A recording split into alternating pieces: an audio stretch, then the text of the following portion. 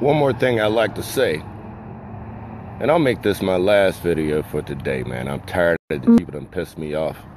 But this goes out to all of my people that voted for Donald Trump. This goes out to all my black friends and all my white friends. Quit hiding. It goes out to all of you guys that didn't say you were voting for Trump until it was election day because you were afraid. You were afraid when you're and voted for Trump because you thought people were going to call you Uncle Tom. You were afraid that if you were white, that people were going to call you a racist. All your black friends would. Don't be afraid. Liberals, liberals preach this whole non-bullying thing. Well, you being intimidated, but not expressing yourself is a form of them bullying you. They bullied you. They bullied the black voters who voted for Trump because they didn't want to be called names. They bullied the whites that voted for Trump because whites didn't want to be called racist. You're being bullied. Cut out this politically correct stuff and bully back. This is what you believe in. Just because you believe in something doesn't make you a racist, doesn't make you an Uncle Tom.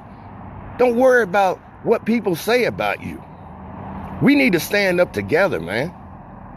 It ain't nothing wrong with it, especially my military friends. I'm ashamed of a lot of y'all.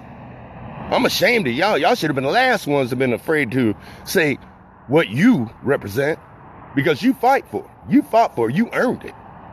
should be ashamed of yourself. We need to stick together. We, get, we can do this thing now. Let me tell you, Trump opened the door. He opened the door. He is scared Republicans and Democrats. He's an outsider. That means that it's open for a lot of us other outsiders to get in as well. That guy has no, no political experience at all. Zero. But that's what they're afraid of. Because after these so called politicians have been in office 10 years, they've become detached from what Americans go through.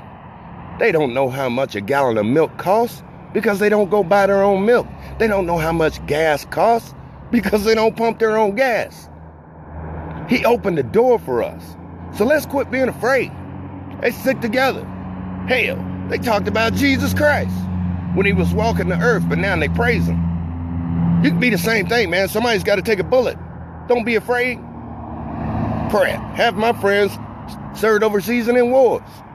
Don't be afraid now. Don't be afraid because I'm liberal. You must be a racist because you voted for Trump. You Uncle Tom. You know what? Kiss my black ass. Kiss my ass. I ain't giving you nothing free because you crying. Dionne out again. American first.